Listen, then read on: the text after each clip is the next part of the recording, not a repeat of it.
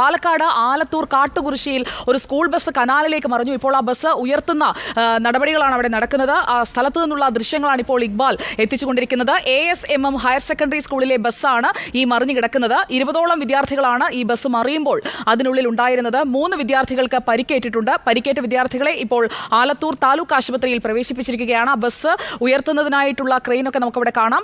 Bus ഉയർത്തുന്നതിനായിട്ടുള്ള നടപടികൾ അവിടെ നടക്കുകയാണ്.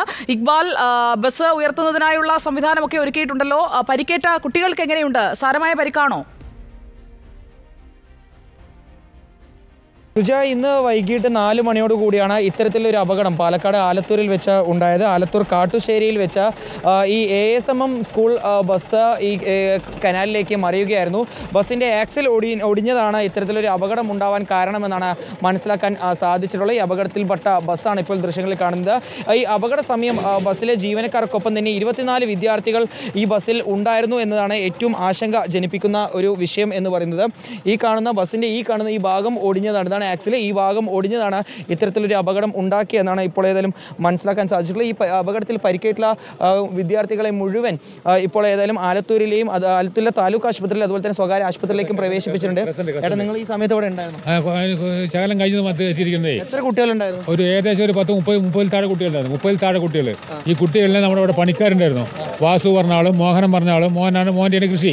ആ കൃഷി രീതിയിൽ പണിക്കാരുണ്ടായിരുന്നു. ആ പണിക്കാർ പണിക്കാർ വന്നിട്ടാണ് ഈ കുട്ടികൾ മുഴുവൻ എടുത്ത് എടുത്ത് വെളിയിലാക്കിയത്. വെളിയിലാക്കി വേറെ കുട്ടികൾക്കൊന്നും അപകടം ഇല്ലാന്നാണ് നമ്മൾ വിചാരിക്കുന്നത്. ഈ എന്താ സത്യാവസ്ഥ നമുക്ക് വെള്ളത്തിലേക്ക് വീണുകൊണ്ട് കൂടുതൽ പരിക്കട്ടാവും വലിയ വലിയ പരിക്കില്ല വലിയ പരിക്കില്ല. വെള്ളത്തിലായതുകൊണ്ട് വലിയ കുഴപ്പമില്ലാന്ന് നമുക്ക് അറിയാം എത്ര മണിയോടെ ഇവിടെ കറക്റ്റ്? ഏകദേശം നമ്മളിപ്പോൾ നാല് മണി കഴിഞ്ഞിരുന്നു. ഏകദേശം ആ ആ. നിങ്ങളുണ്ടായിരുന്നു ഇവിടെ ഈ സമയത്ത് ഇവിടെ ഉണ്ടായിരുന്നു എന്റെ മോൻ പറഞ്ഞിട്ട് ഞാൻ വന്നാണ് നോക്കിയത് മൂന്ന് നാല് മണിന്റെ മൂന്നേ മുക്കാലും നാല് മണിന്റെ ഉള്ളിലാണ് സംഭവം നടന്നത് ഇവിടെ ഇവിടെ ഉണ്ടായിരുന്ന സമീപത്തുണ്ടായിരുന്ന കർഷകരാണ് ഇവരെ രക്ഷപ്പെടുത്തിയെന്നാണ് നാട്ടുകാർ പറയുന്നത്. ഏതാണ് മോഹനൻ? ഇതാ ഇവിടെ ഈ മോഹനൻ പറഞ്ഞ വ്യക്തി മോഹനൻ. ഈ മോഹനൻ എന്ന് പറയുന്ന ഈ വ്യക്തിയാണ് ഈ രക്ഷാപ്രവർത്തന നേതൃത്വം നൽകിയെന്നാണ്. ഏകദേശം എത്ര മണിയോട് കൂടി ഈ അപകടം ഉണ്ടായി? മൂന്നേ മുക്കാലിന്. എത്ര കുട്ടികളുണ്ടായിരുന്നു? കുട്ടികളുടെ എണ്ണം അറിയില്ല. ഏകദേശം ആ ബസ്സിൽ നിറയെ കുട്ടികളുണ്ട്. ഉം. നിന്ന് ഇവിടുന്ന് ഒരു ശബ്ദം കേട്ട് തിരിഞ്ഞു നോക്കുമ്പോഴേക്കും വണ്ടി മറ്റേ കനാലിലേക്ക് മറിയുന്ന ഒരു സ്ഥിതി ഉണ്ടായത്. ഞാൻ ഉടനെ തന്നെ എന്റെ സുഹൃത്തുക്കളായ ആൾക്കാർ എനിക്ക് കിട്ടുന്ന നമ്പറിൽ വിളിച്ചു. ഉടനെ പഞ്ചായത്ത് പ്രസിഡന്റിനെ വിളിച്ചു. അപ്പോൾ തന്നെ മറ്റേ ആംബുലൻസും അതുപോലെ തന്നെ അഗ്നിരക്ഷാസേനന്റെ വാഹനമൊക്കെ ഇവിടെ എത്തി.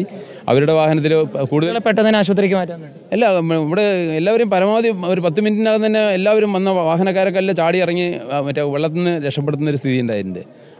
അതിനും പഞ്ചായത്തും പോലീസും അതിന്റെ അധികാരികളെല്ലാം സമയം ജീവനക്കാരായിട്ട് എത്ര പേരുണ്ടായിരുന്നു ഡ്രൈവർ മാത്രമേ ഉണ്ടായിരുന്നുള്ളൂ. അദ്ദേഹം ഒരു വളരെ അവശതായിരുന്നു അയാളും പിടിച്ചു കയറുന്ന ഒരു സ്ഥിതി ഉണ്ടായത് അയാളെ കനാലിൽ നിന്ന്. ഡ്രൈവറെയും ഇരുപത് കുട്ടികളെയും പിടിച്ചു കയറ്റിയതിനെ കുറിച്ചാണ് അവർ പറയുന്നത്. ആലത്തൂരിൽ നിന്നാണ് ഇക്ബാൽ വിവരങ്ങൾ നൽകിക്കൊണ്ടിരിക്കുന്നത്. Thank you Iqbal.